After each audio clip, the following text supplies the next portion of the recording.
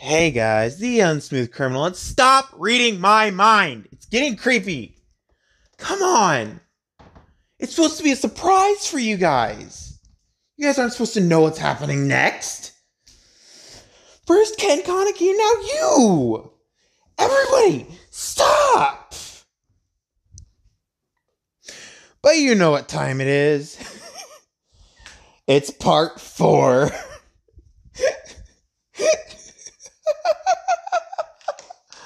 Uh, give me a second. So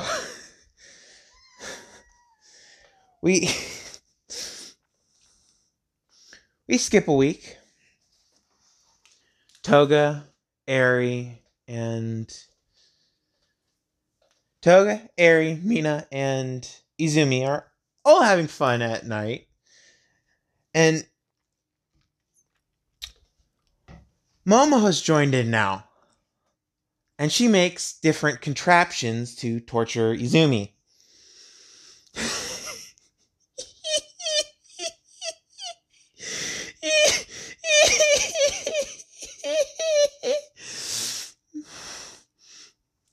and so it's the day of the USJ, and Izumi's getting excited on the bus, and Eri senses this and goes, no, no, no. Oh, God. God damn it. And Aizawa hears this and goes, uh, what's wrong? And she goes, we're going to be attacked at the USJ. And he's like, come on, that was supposed to be a surprise. And Eri goes, I know you have the insane sensing ability of some horror creature, but can you at least tell us when we're about to get attacked? And because your masochistic side wants to get hit, you can at least tell us when you're getting horny. And she's just yelling this in the bus, and everyone's like, what the fuck is going on? and Izumi's like, fine, sorry. And Eri goes, it's fine. Don't do it again. Still gonna get punished tonight. He goes, okay. And smiling again.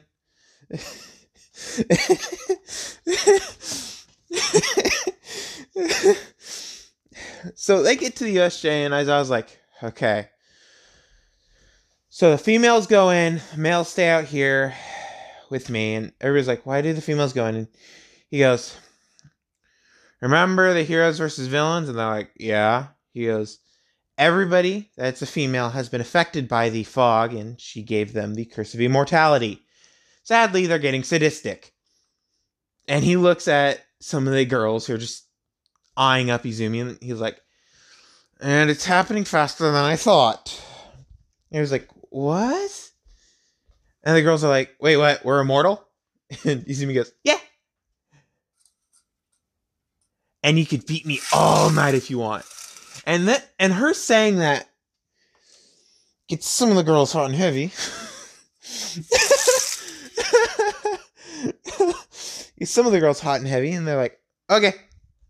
And so all the girls walk in, every single one of them, and Izumi goes into horror mode, which is a new mode that she's started to use the last few times she's fought villains. Where she keeps her uh Cheshire Cat mask on, and she starts to laugh, and these black tentacles come out her back, and it starts to transform her from a Neko to a Slender Man kind of creature. And Izumi is laughing maniacally, and Eri slaps her upside the head. But this isn't just any normal slap. This is a a bullet powered slap. So she had a a device on her hand that whenever she slaps uh, Izumi, that shoots a bullet into her head, so it can calm her down. And Izumi's like, "What the hell was that for?" You know, when it goes through my brain, it actually hurts, right? And she goes, "I know." That's the one way I can calm you down. She goes, true, true, true. Um, how about this? And Izumi goes into a uh, Freddy Krueger style mode where she brings out the blades on her fingers. Well, she doesn't bring out blades on her fingers. She has her claws grow to enormous sizes. And she's like, Can I rip them apart now? And Eri goes, No, you cannot rip them apart. You can play a game with them, but they have to survive. And she goes, Oh, I can play a game? And she's getting excited and she goes, Yeah, you can play a game. One game, that's it.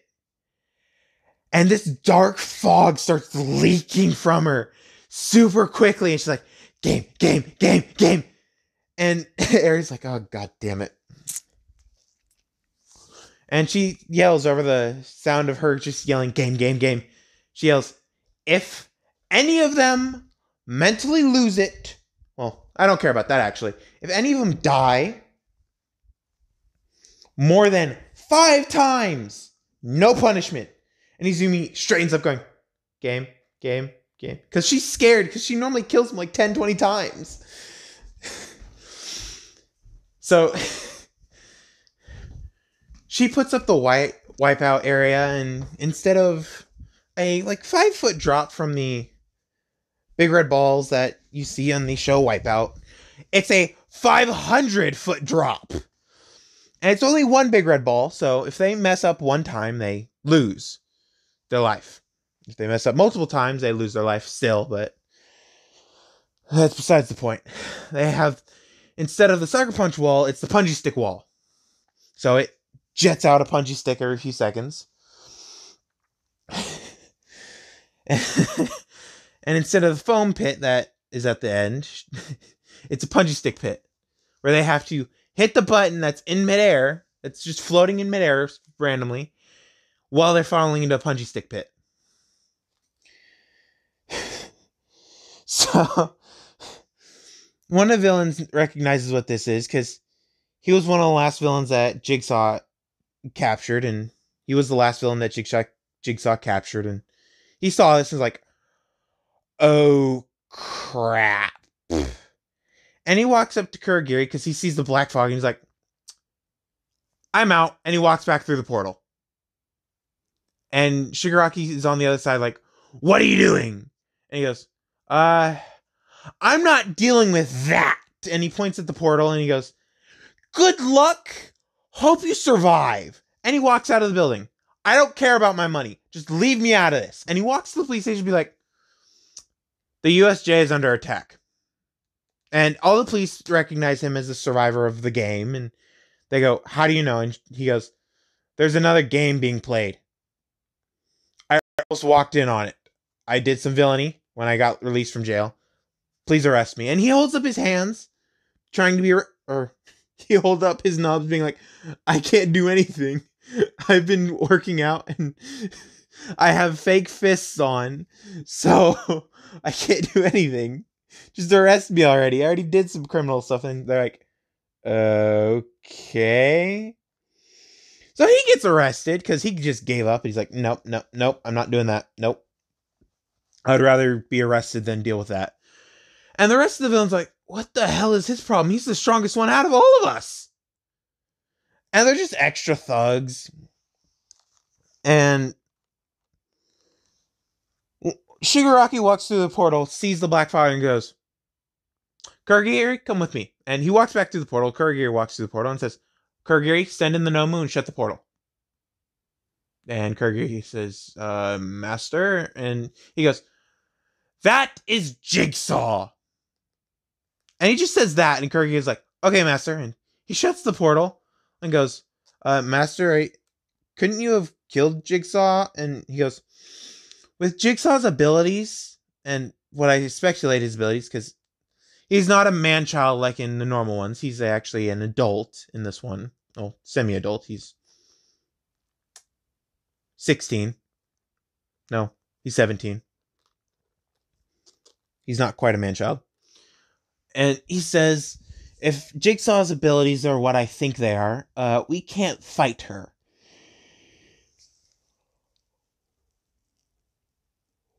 God damn it, I yawned. And Kurogiri's like, Master, what do you think her abilities are? And he says, From what I have heard from the last survivor, when he came in, he's absolutely terrified. And he's physically stronger, and his quirk was to obliterate anything he touched with his hands. But when he was in the building, like he told me when he first got here, and he said if he if he saw Jigsaw, he's leaving. He he's not doing it. He's he if he saw Jigsaw again, he would know what she looked like, and he said if he ever went through that again, he he wouldn't survive. He would kill himself right there and then. That's if he ever went through it, but apparently it looks like she's trying to be a hero, so she's not killing anymore. Um, that's weird. And Kurogiri's like, okay, then what is her quirk? You haven't told me what her quirk is. And he goes, from the story he told me of it, he she has the same abilities as horror characters.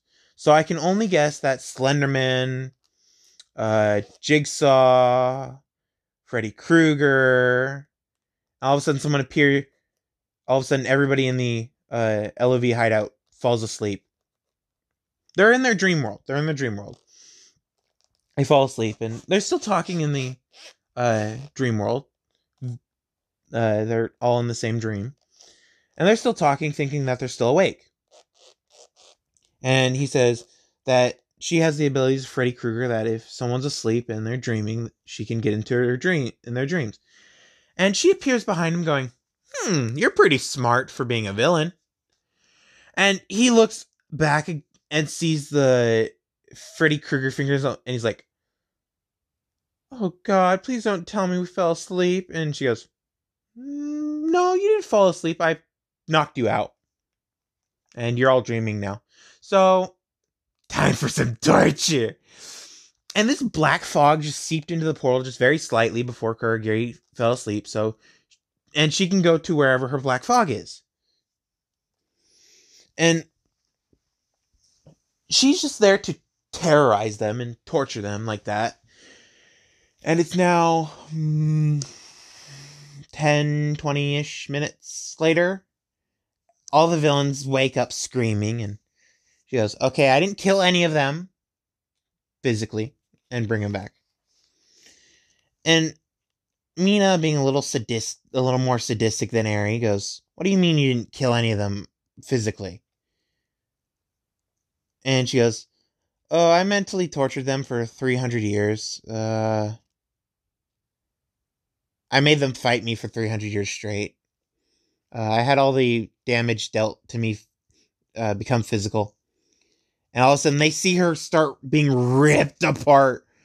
She her arm falls off. Her leg falls off. She's still floating. By the way, she has Slenderman's ability to float and teleport. And she's still floating, and she's like, uh, in three, two, one. And she busts one right in front of them because of the pain. She's like, oh, it feels so good.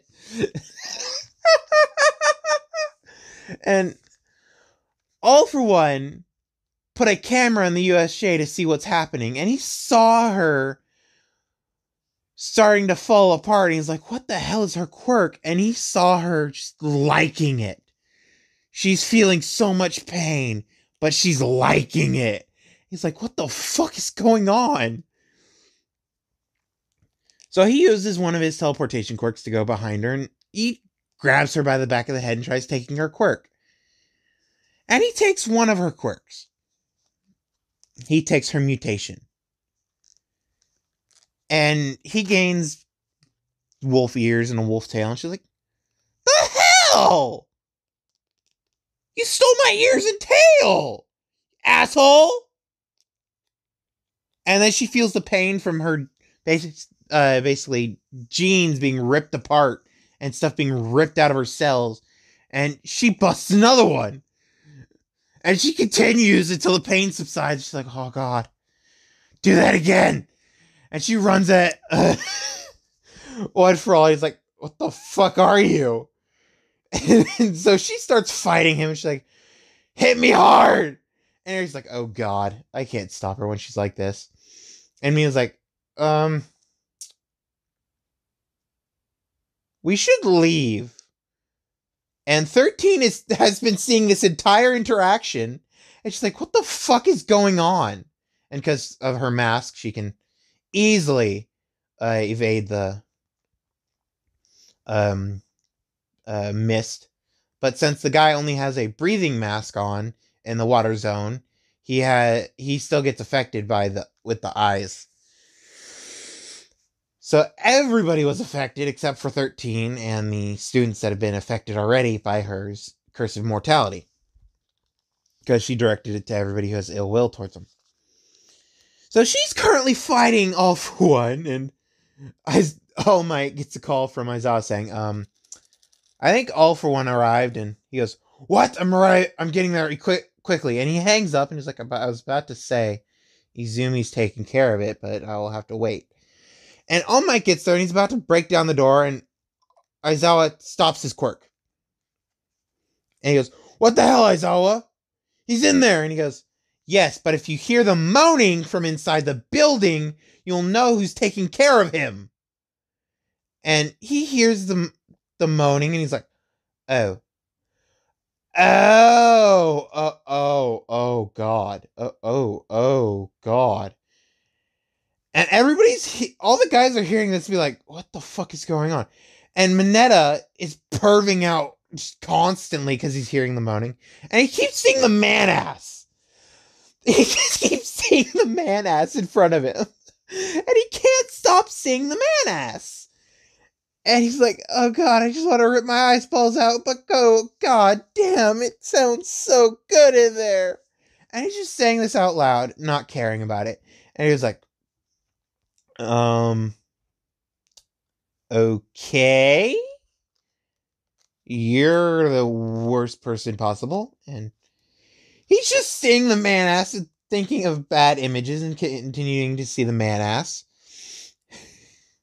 And he's gotten so used to seeing the man ass that it's changed.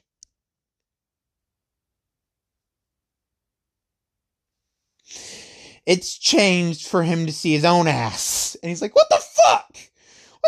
Is this? And he just starts saying that and backing up.